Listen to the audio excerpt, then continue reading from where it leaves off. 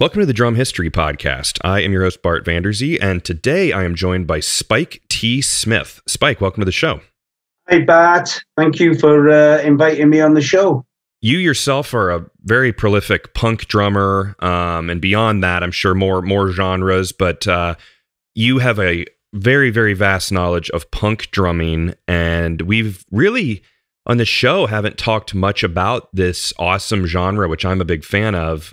We're talking specifically about the D beat, which you have created an awesome documentary about, which we'll talk about a little bit later. But I think before we start, what would be a good idea is for me to drop in some audio of you playing the D beat, and then people can actually hear it, and then we'll hop in and talk about it. So let's hear this first.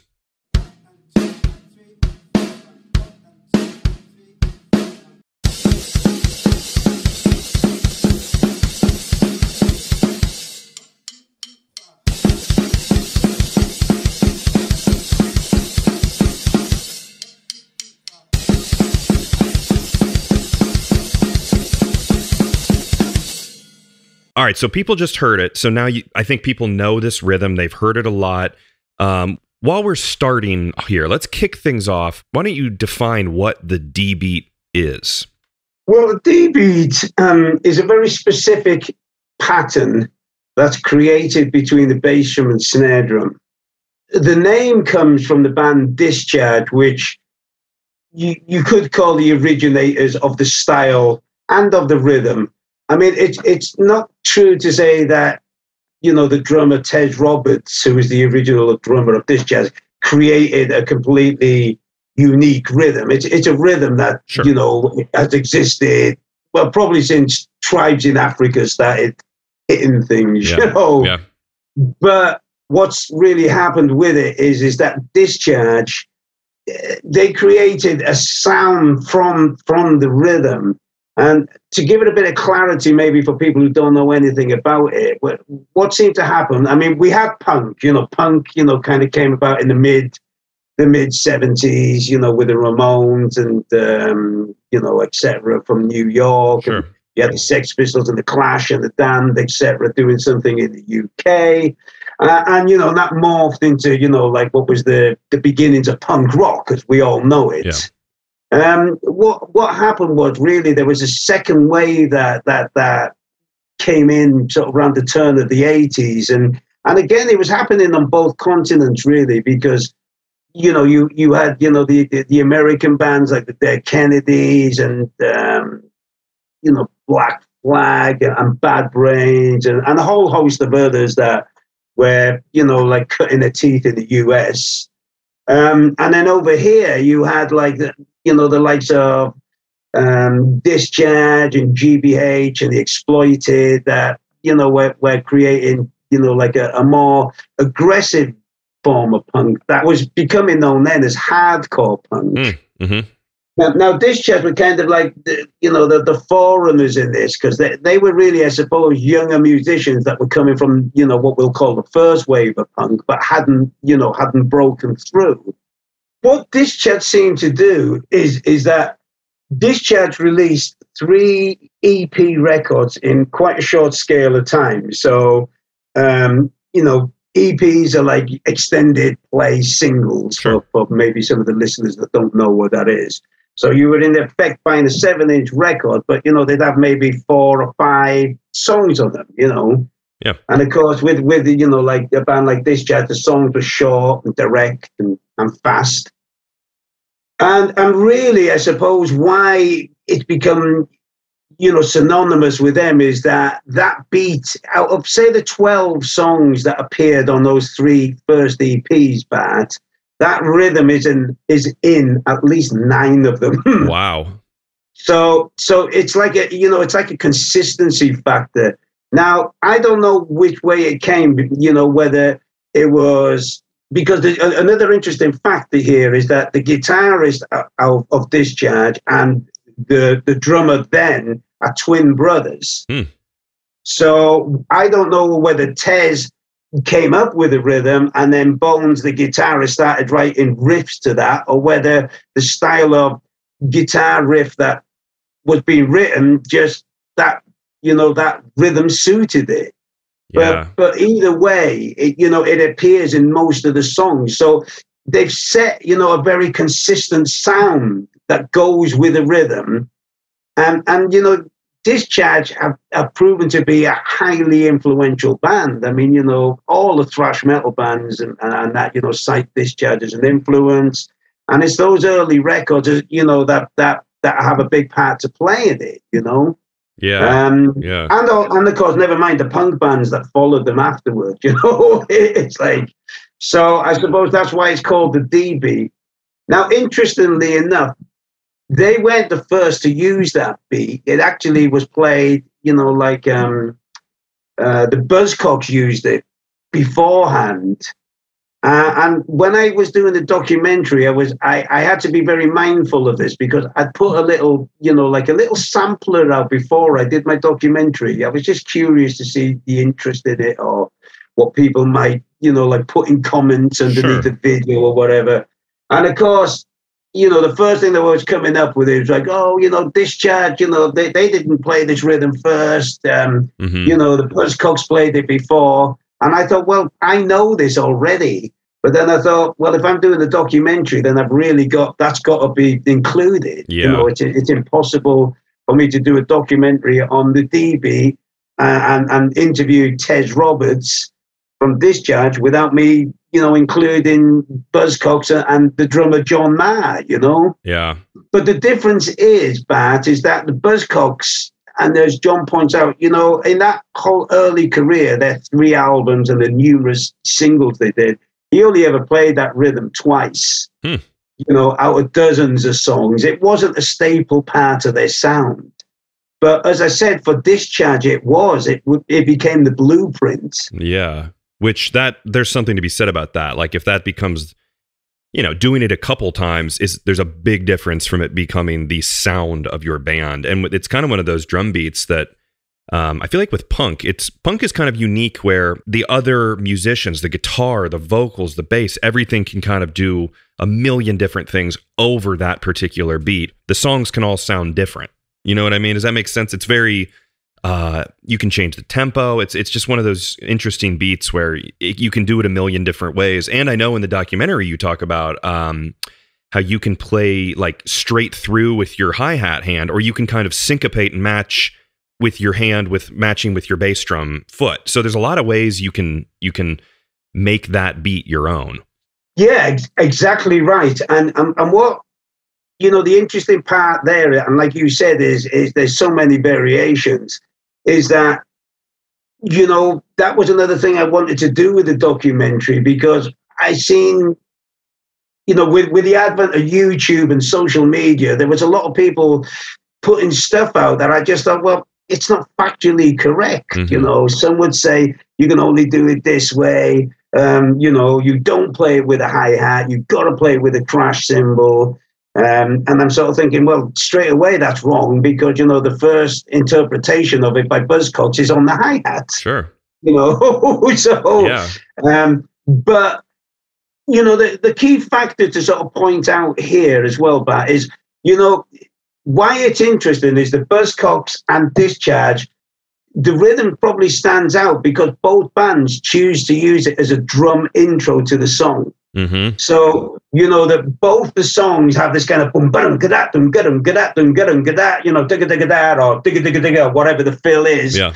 but you know, but you know, it who the band and the musicians who, who you know from both those outfits obviously felt fit to think, wow, that sounds cool. Let's use it as a drum intro. You know. Yeah.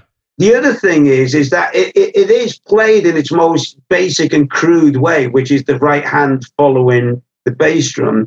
But you know why? It's because both of those drummers had only been really playing weeks before they were committing it to tape.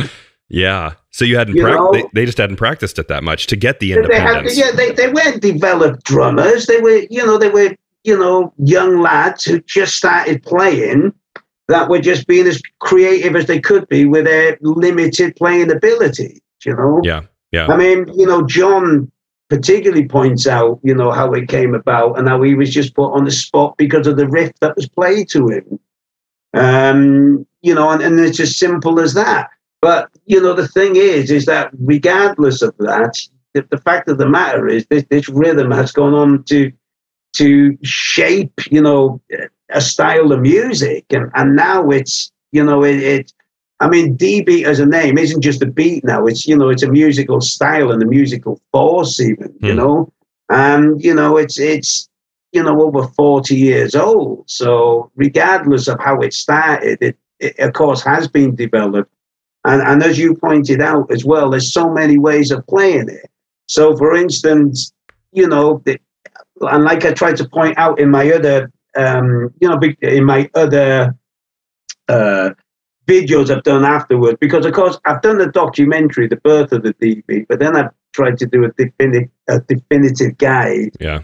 how to play it. Sure. You know, pick, you know, taking it from its most basic raw style, developing it through maybe you know, where you become more of a developed player and you can play it with, say, the more typical right hand, um, keeping a, a consistent quarter note pulse, you know, Yeah. on, on, on be it the hi hat, the ride, or the floor tom. Um, but then, you know, I've done another video where I've developed it again, playing it in a linear pattern. You know, so now you're getting into more modern, you know, drum rhythm concepts, you know, or what are popular, you know, like uh, more modern drum Yeah, for sure. concepts. Yeah. And the latest one I've done is playing it in, in you know, odd time signatures, you know? Hmm.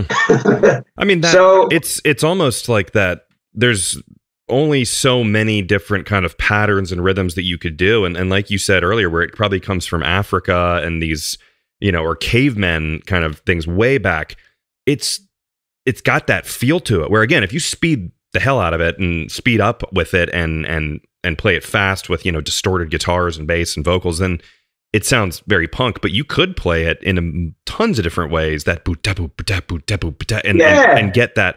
You could make it more like you know uh, tribal, but that's kind of the coolest thing about drums is we're just like a you know we're setting the foundation for everything to come on top of it. of course, and, and, and the, you know, the other factor is, is that, you know, looking back on it for myself, when you play it in that most basic raw sense, it sounds at its most tribal because, you know, it literally is just meant about, you know, the power, the energy, and the aggressiveness, you know? Yeah. As soon as you put, say, like a quarter note um, ride cymbal pattern, it smooths it out. Now, that's great, but it's not always what you want, you know? So, Yeah. um, so it, it, it's, you know, it's just, it's really then a question of what you're trying to do with it. Sometimes you don't want it to sound so aggressive. I mean, an interesting part you mentioned Dead Kennedys. Well, you know, that the first drum of Dead Kennedys was very jazz influenced. So, you know, you could play a D a D beat with a jazz right cymbal pattern. Yeah. Um, yeah. and that would give it a different feel again, you know. Um, the thing is, is the faster it goes, it- to my mind, it the the more it, it loses its bounce.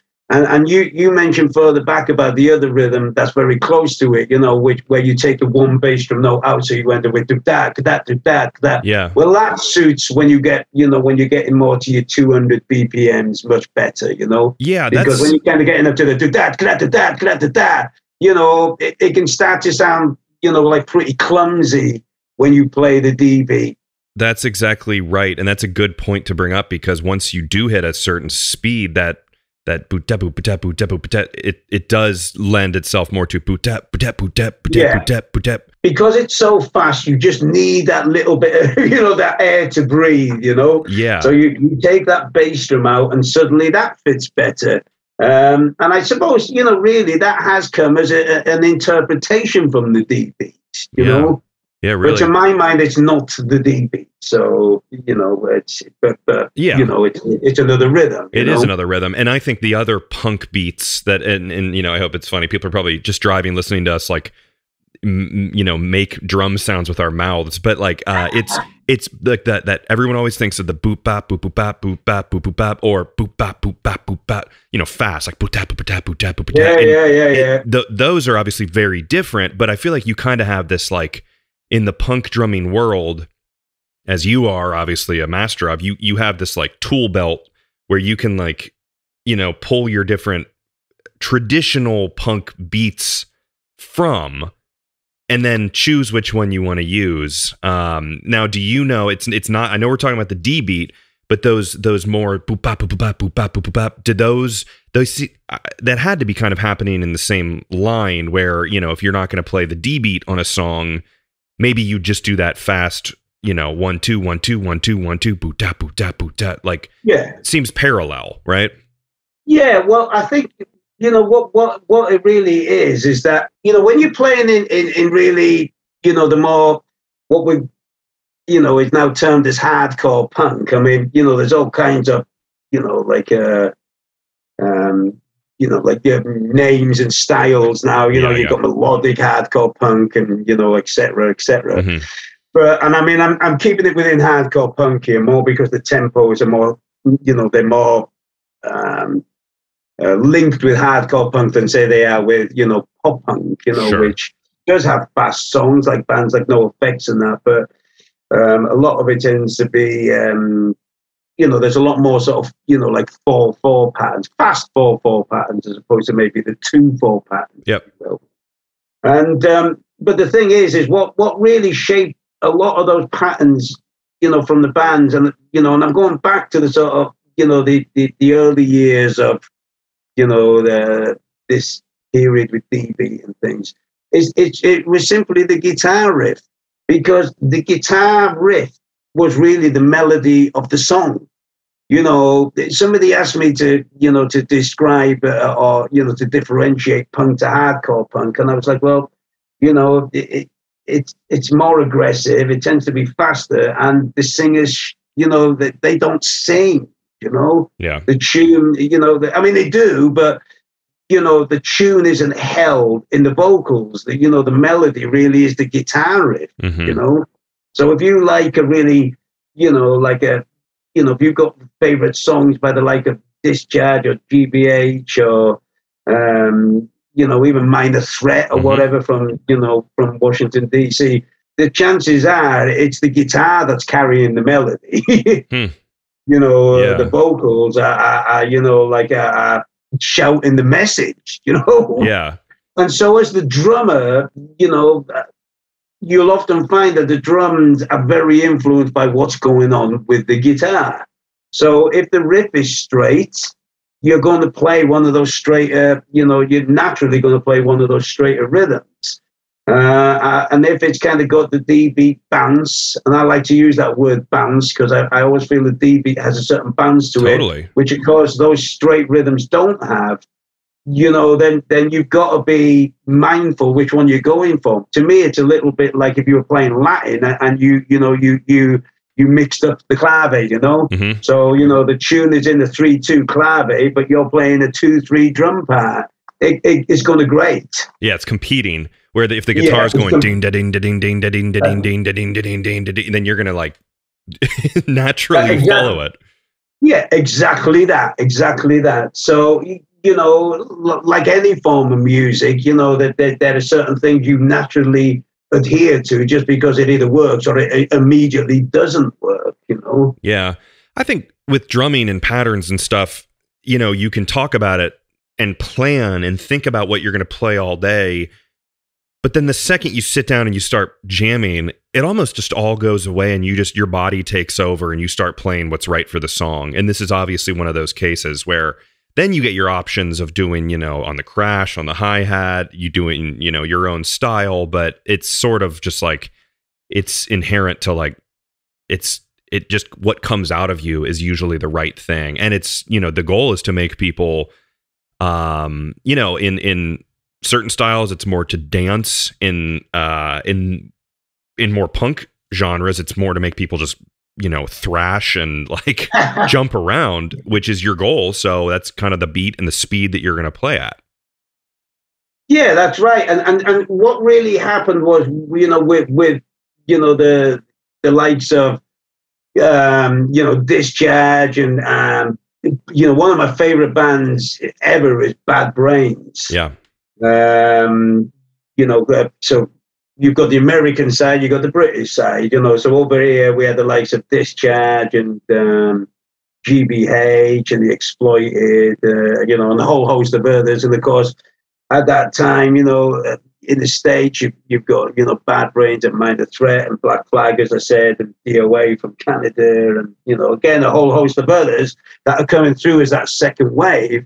And, and interestingly enough, you've even got a band like Dead Kennedys who, you know, had started just a bit earlier, but they picked up on the hardcore thing, and and you know they they went from their first album being very spiky and punky to doing "In God We Trust," which is a full on hardcore, you know, political assault. You know, yeah, yeah, and the the Dead Kennedys in particular have kind of a uh, I don't know, they have some songs that are very like you know punk, but they're not as like they might be slower or they might be more of like that yeah. which is just a different it's like you don't i think it's almost kind of quote unquote punk to not care about playing what's you're supposed to be playing in certain styles and like just do what feels right for the song. But my god his it's dh right who plays with the dead kennedys. Yeah man, his hand is fast. Like I yeah, like the, he was great, but of course he didn't play on the first album. Okay, who was that? And he wasn't the first drummer. So the, the first drummer, um, that well, he went under two names. He was uh, Bruce Schlesinger. Okay, I think definitely Bruce. Uh, and he also, you know, was known as Ted. okay, it's the same guy. Got it. But he played on the first, you know, handful of singles on the first album, and he was very jazz. Um, you know, even when you see some footage with him, he's playing traditional grip. Um, and you can even hear the jazz ride in certain, you know, in certain songs by them. You know, so it, you know that that's a point of interest for anybody that might be listening to this. It's like you know, yeah. there, there, there, was jazz drumming going on in punk in, in you know in the early days of it. Yeah. Well, um, that comes so, up a lot in the show is like how, you know, depending on when, you know, this would be, how far back you go, a lot of times these guys were growing up influenced right. by jazz drummers. So it, it's cross genre that, you know, of course, your or, or their parent, their, their, his dad or mom loved jazz and was listening to it all the time. And, um, exactly. And, you know, and maybe, you know, the, the one thing I noticed with them, um, you know, the American drummers of the day versus the Britishers, a lot of a lot of them seemed a lot more schooled, you know. Sure. Um, you know, that they, you know, possibly had, you know, teachers or good teachers, you know. So although they were young and, and, and fully into the punk thing, they they had, you know, like chops. yeah, they could actually you know, I mean the yeah. chops may have been raw, but but you know, they could they they had energy and could play. And and going back to DH Peligro, as you said, he could play. Yeah. And so, you know, as soon as he joined, you know, suddenly Dead Kennedys could play super fast songs. You know, they had a drummer that could do it, you know. And and you know, and, and that was the difference. Yeah. Um, you know, it's quite a different style what how DH was to Ted. Yeah. I mean, Dead Kennedys are one of my favorite, you know, my, my favorite bands. And, yeah, for sure. You know, the thing is, is with all this as well, but is I you know, I grew up within it. So totally, you know, like I, am you know, I, I, I remember it as it was happening. You know, yeah, I can remember sort of hearing the Dead Kennedys thinking, "Wow, what's going on here?" It's you know, it's like a different band. or I can remember first buying those discharge records and thinking, again, you know, Jesus, you know, what's this? I've never heard a sound like this before. Yeah. And then another record is released soon after. Wow, more of it. Brilliant. I can't get enough of it, you know? Mm. And then another. So, you know, the reason that going back Bart why I wanted to do the documentary was I thought, well, I kind of know this info, you know, this information is, is second nature to me. I can, I can remember it. But again, stuff that I was seeing on the internet, you know, I felt was, you know, mis or ill informed you know? Yeah. It might have been well meaning in some cases but it was like well oh that's not right you know? Um, that you know so and so didn't play on that record and in fact that's not even d beat anyway. It's a different rhythm. It's a different drummer in fact you know? Mm. it might still be discharge but so things like that made me want to go back and interview the key guys so that i could document it you know as, as thoroughly as i could you know? Yeah and and um you know, people usually know this that if you, uh, I'll post the um, link to it in the uh, show notes here. But um, so let me ask you this: How does so if there's there's usually some like you know I don't want to say rules, but there's like some guidelines. You're typically following along with the history of this stuff where like you want to stay true to the the actual beat and how the people who, you know, were pl- originally playing it. How do fills usually fit into the D beat? Like I know you said that it would typically, you know, a song could start out with a fill, but is there any I don't want to say rule, but is is it typically yeah. common to like just put a fill in, you know, at the end of the the the four bar, you know, phrase, and then just keep going, or and what kind of fills would typically be played uh, with the D beat? Well, it's interesting you say about the rules because you know I, I firmly believe that there are no rules, but that's another problem. that's Some punk. people, you know, the, the punk police think there are rules, yeah. you know, it's, um, and and that was another sort of myth that I wanted to, you know, to to to bust. Sure um, which I go through a little bit again in you know like um, my more instructional videos about the D beats. Yeah.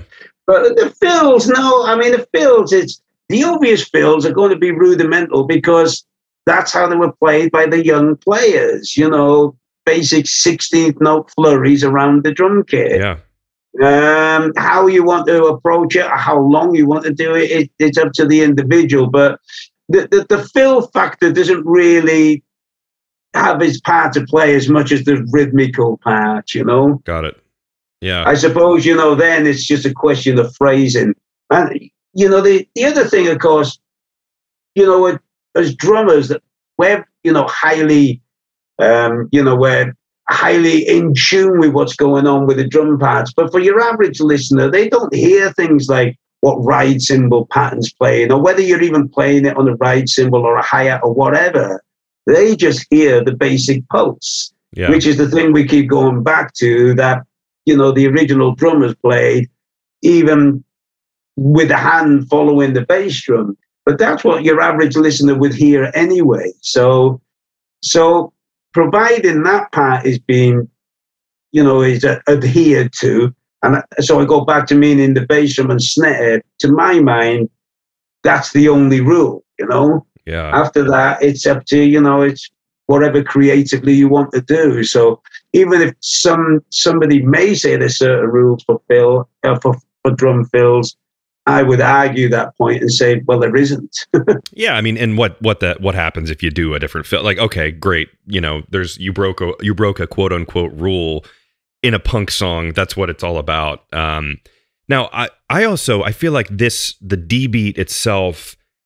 Obviously, you said it crossed over, and you hear it in different kinds of punk. But I also think that people use it in like more in the world of like metal and hard rock and stuff. I mean, like I think of like Motorhead, um, which I guess could depend. I mean, they're they could also fit into the world of punk, but I think you, you know what I mean. They kind of cross into that yeah. heavy metal world. But um, how does that in the punk world, how does that feel for to people? I mean, again, it's like what do you what do you do? There's no rules, but like, uh, how is that seen in the traditional punk world that it's being used in other heavy genres? I mean, I for me, it's I think it would be great more D beat.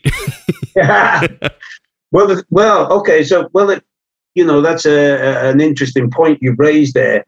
But as Tez points out in my documentary, and, and this is why it's good to, you know, to speak to these people, is that his biggest influence is when Motorhead and UK subs. Mm.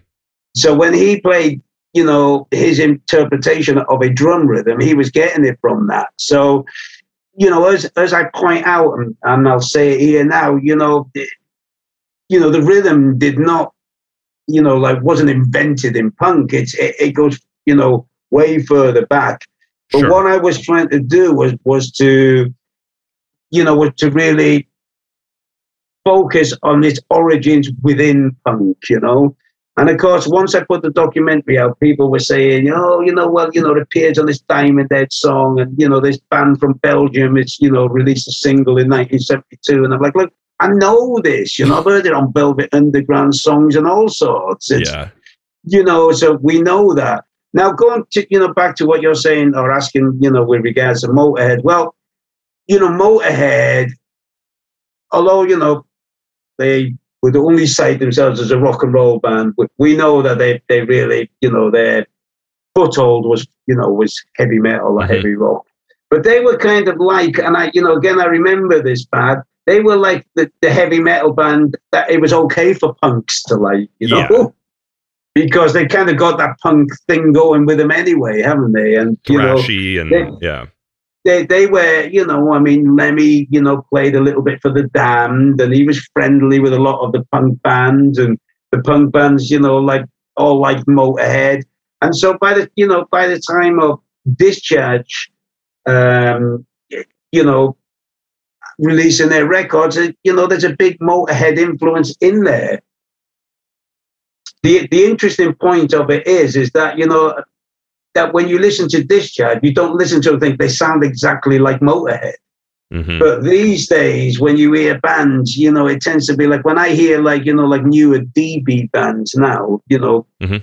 I just sort of think, oh, they just sound like Discharge. it's like, and I sort of think, well, do something different with it, you know, Yeah. Take it somewhere. You know, this sounds 40 years old now. It's, you know, try and do something different with it. That, which is why, you know, I'm trying to do these other videos where I'm doing it in odd times or just doing things that are more interesting and creative with the rhythm. Yeah. Um, totally. But that's why, you know, like you said, you hear it a lot in metal because, you know, the likes of Metallica and, and all the thrash bands, well, you know, they were really digging bands like Discharge and GBH. But of course, they loved Motorhead and Diamond Head and Iron Maiden and, you know, so it, it, it was all a melting pot from, from the period, really, I think. Yeah.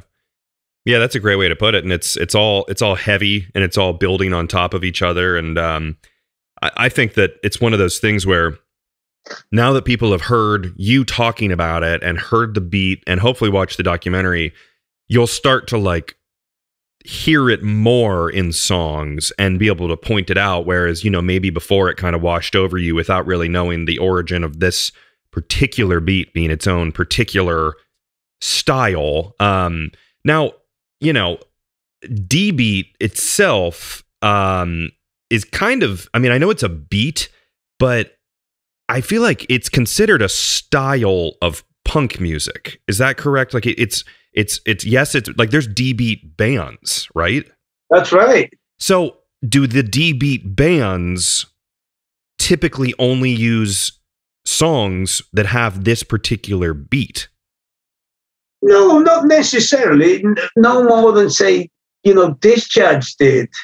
I mean, if we go back to Discharge, I mean, as I pointed out, those first three EPs, you know, pretty much cemented the style and sound. Sure. But after that, uh, Tez, the drummer, left.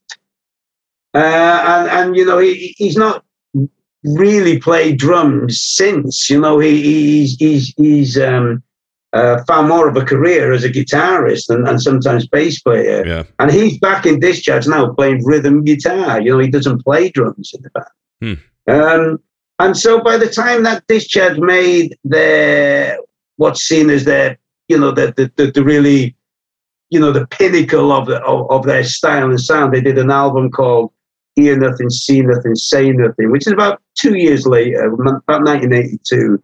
They have a different drummer. Now, he doesn't play the D beat that much in, in, in the Discharge songs, you know? He Yeah. tends to play more of the other beat that we've, you know, talked about, or the straighter rhythms. Sure. So now I don't know again whether that was the influence from what he heard in the guitar riff, or whether that, that he was just felt, you know, like comfortable playing those rhythms. So even in Discharge, it's not just strictly D beat. Got it. Um, so yeah, these other bands, um, you know, that are, are come from it, or you know, now under the, you know, like you said, the the the, the, the flagship banner of D beat as a musical style. I think that the key thing is they all refer to it strongly, Yeah. but but it's not, you know, it's it's not a hundred percent, you know, that. It's Just in, that. in much the same way that. You know, when you listen to reggae, it's not all one drop. You know, No, no, totally. That's but, a but- great but you know, if you're a reggae band, you you know you're going to have some song where they where you play where the drummer will be playing one drop. It's just synonymous with the style of music. Um, and I suppose that's the same for D beat bands. You know, Yeah. Interesting. Now and uh and like you said um before cuz I want to take some time to talk about you personally and making the documentary and your background a little bit here as we kind of come to come come close to the end, but Um, uh, you know, it's going on today, right? Are you happy with how the landscape of punk is th- these days? You know, as a as a kind of an old school punk guy, um, what's your thoughts on the current world of punk? Well, I mean, you know, I'm super happy to see that all these years on, it's still going and it's stronger than ever. Yeah. You know, and uh, you know, it, it's amazing, really, that you look at bands like you know Green Day and, and the like. You know, well, I mean, Green Day in particular. You know, they're one of the biggest bands in the world. You know, it's like I think a lot of the time people still see punk as some sort of underground, you know, you know, independent movement. Yeah. And that's still there, of course, definitely. But, you know, it really is in the, you know, the veins of mainstream music. Totally. And and that was the thing that, you know, I, I found, you know, all interesting, but also frustrating with, with, with all of this was that I saw, you know, the whole thing with me being interested in doing something with the D beat more as an, you know, as a, an educator was I was sometimes going into, you know, like a, you know, like a drum summer camp, and I'd mention something about the D beat and the, you know, the drummers would be there, sort of looking like what, you know, a bit perplexed, and I'd be, well, what you don't know the D beat, and I thought, well, you probably don't, you know, it's it's a bit of a specific thing. Yeah. But now, but then I also thought, well, why? You know, I mean, you know, if you know, if you're a drummer, you and you're a drummer with with you know a certain amount of ability and skills, you wouldn't want to be like that and not know what a samba is, or Sure. you know, as I said, or a you know, like a you know, like a, or a reggae one drop or, or whatever, you know. So why wouldn't you know a D beat? Because to me, it, it's kind of now becoming a bit of a bread and butter part of rock drumming, you know. Yeah, it almost seems like people would have already, you know, you inherently play it. Like if you're learning drums and you're going down a page of beats that someone wrote out, like it's likely this it's likely on there where you've learned it, but you just maybe didn't know what you were doing or the background of Yeah, it. I, I mean, really, you know, like you know, all of the fundamental punk drumming is rock drumming. It's just you know all the, the typical things you would you know learn in uh, you know run of the mill sort of rock drumming book or whatever. But what- the thing is, is that you know what differentiates it where you take it somewhere else. It, it, the energy, the speed, the intention, you know, Yeah. and the aggressiveness. Yeah, for you know, sure. that's what makes it different. And I think you mentioned that at the beginning. You know, it's it, it that's what separates it from being a sort of you know like a typical meat and potato style of rock drumming.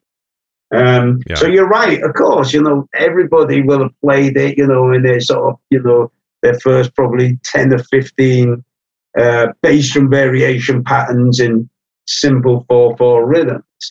yeah. But uh, you know that that after that, it's it's it's how you use it, how you adopt it, isn't it? I mean, you yeah. know, you could you could say that the bass the bass pattern and the snare pattern is what's become you know uh, prevalent in drum and bass. You know, at a different tempo. You know, totally. it's it's it's the same thing, but that's drum and bass. You know, doesn't sound like the you know, No. it's exactly the same rhythm. Yeah, and that's the coolest thing about drums is how we are uh, as drummers.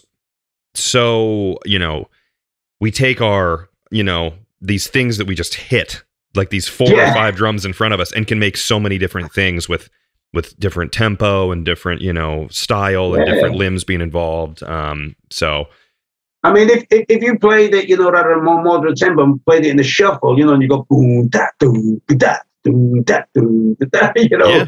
it's essentially the same pattern, but you know, suddenly then you're into, you know, uh, you know, like a, a strong R and B vibe, you know.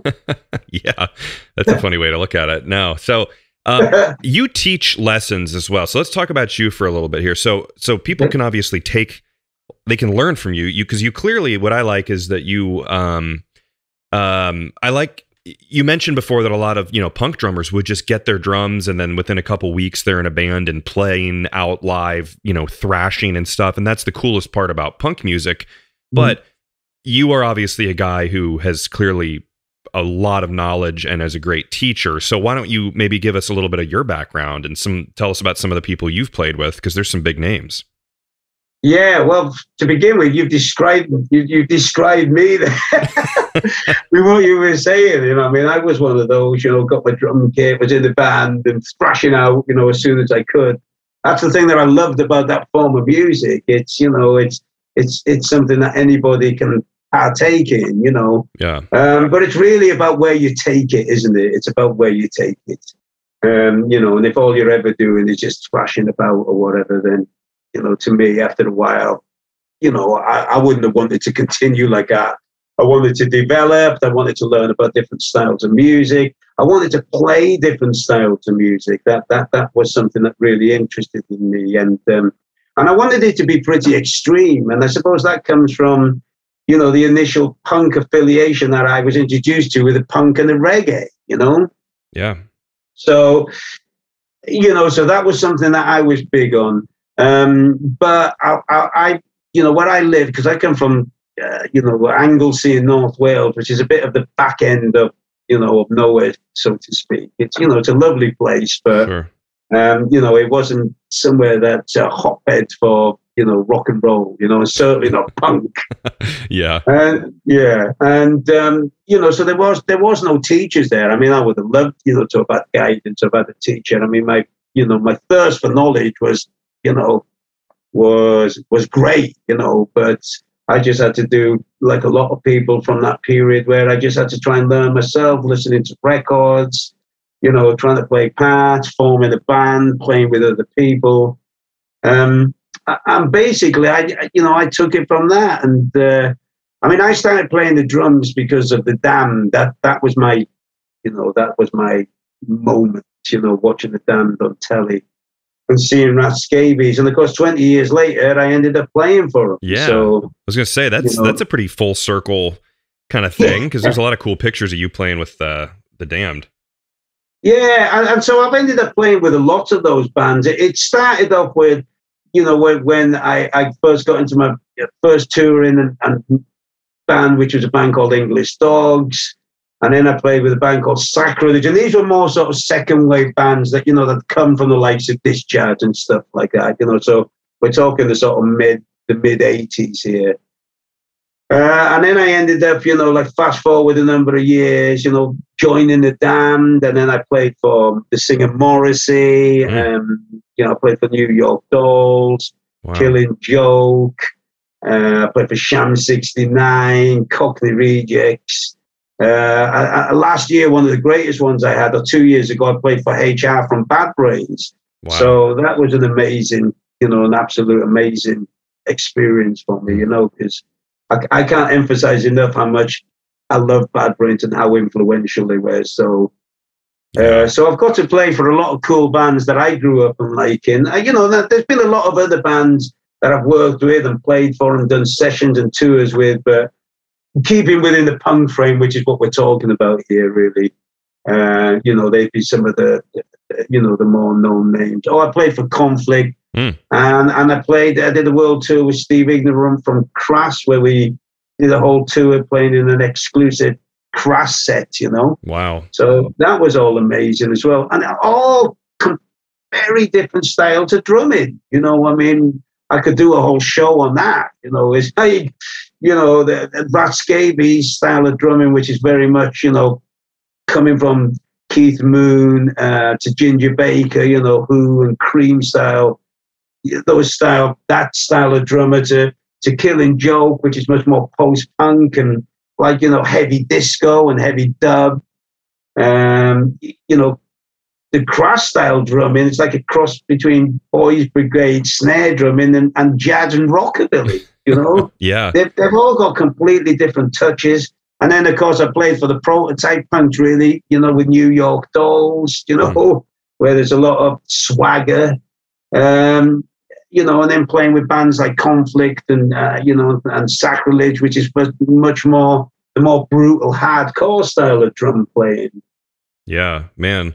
Well, it's cool that you have the ability, obviously, from your, you know, you've played for a very long time, but you kind of uh, clearly you you enjoy learning about your craft and knowing what you're doing. Where you can, um, you know, to be a professional, high level drummer, you kind of need to do that. And I'm sure you could not that not you'd really want to, but you could sit behind a pop star and hold your own and play perfectly well just because you've got such a good foundation um, as a as a working touring session studio drummer. Uh, I'm sure well, you can play with anyone. Yeah, an interesting point with that was when I when I joined Morrissey, that kind of almost was it. I mean, yeah, you know, he's really. not a, a, pop star in the sense in in what you know in that term, but, sure. but he is very much a star uh, and you know an icon and a legend.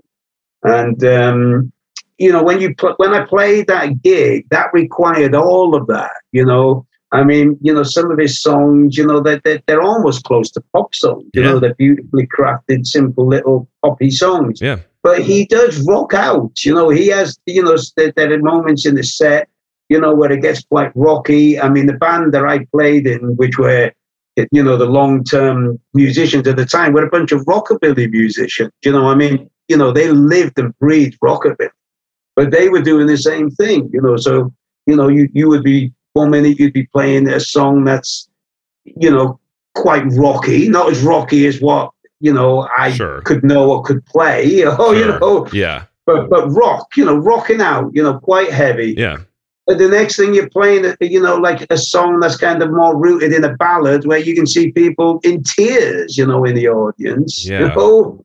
And then you might play a song that's kind of got a more typical rockabilly shuffle feel, you know, as I was pointing out about the D beat and the R and B thing, yeah. um, for instance. So, yeah, and, and I enjoy that challenge because you know I, I'm not, you know, like I'm not just about sort of like, you know, the punk playing. I mean, I like the extremity, you know, I mean, I like, you know, I like working on, on my jazz playing. Um, you know, I love reggae playing. And when I went and did that tour with HR from Bad Brains, it was, it was a, you know, pretty much an exclusive reggae set, mm. you know? Yeah. Uh, and so, you know, I love that. And, and, and actually, you know, at one point, you know, like I, I played with Killing Joke and a week later I was playing with New York Dolls quite different drumming, really. Yeah. Even though both the band you you you would put under the sort of you know the the punk banner, you know. Totally. I mean, the the the end all be all kind of like takeaway that I get is like you know, um, you're a drummer. You know what I mean? Like that's that's it, right. You'll you'll play the for the gig, and I think that's what. But there's also a side of it that's cool when there's a guy who's like, no, I only play the D beat, or I only play thrash metal. I only play double bass, and I'm not playing with you know uh, a singer songwriter. But I, I think for for your your example of just your your career, you've done a lot of awesome stuff, and um, I highly recommend people watch your documentary, which I will share. It's it's it's not you know two hours long it's it's relatively short i mean you can kind of throw it up on youtube and just watch it and uh, I loved every minute of it, and um, I am just super happy to have had you on the show and kind of you know talk to, to, someone like you who we haven't really gone like i said earlier we haven't gone into the punk world on this show very much um, and i think there'll be more to come down the road with punk and metal and reaching out to other genres and then also going to uh, classical rudimental drumming and you know civil war we'll, we'll cover all kinds of stuff but um on that note, man, Spike, I appreciate you taking the time to do this, and uh, we've got a pretty far time difference, so I'm glad we could make it work. Um, and thank you, my friend. I appreciate yeah, yeah. you being here. Yeah, well, thank you for having me, and uh, you know, I, have really enjoyed it. And just to let you know, your listeners know if they want to check out more on me, uh, it's you know, spiketsmith.com is my website, and just you know, Spike T Smith on YouTube or Facebook or you know Instagram or whatever. And uh, and just to finish off with that as a point of interest, you know, currently what you're with what you're mentioning there with the differences, I'm now you know I'm, I'm playing in a death metal band. cool. So you know that's been that, that's another interesting curveball, you know. yeah. Uh, but uh, but yeah, you know. So thank you. I, have really enjoyed myself, Bart. So thank you, and I and I hope that you know people do check out the you know, not just the documentary, but the follow-up vids I've done afterward, because that's what I'm interested in is where where it can be taken to, you know? Absolutely. I, I think it's I don't want to say funny, but I think it's just great that like for a guy who plays, you know, a lot of like aggressive music and it's just, you know, really into heavy stuff that, you know, I feel like instantly we got along and just as drummers, very approachable and friendly guy. Um, so I think that's just the beauty of music is that people can, you know, just hit it off right away as drummers and um, and obviously I love punk music, but you know I'm sure you'd get along with a hardcore jazz drummer just as much uh, who has no interest in punk, just because of our, our our shared interests, and that's the the best part of being a drummer. Absolutely. Awesome, great, thank you, Spike. I appreciate you being here. Cheers, Bart. If you like this podcast, find me on social media at Drum History and please share, rate, and leave a review. And let me know topics that you would like to learn about in the future. Until next time, keep on learning.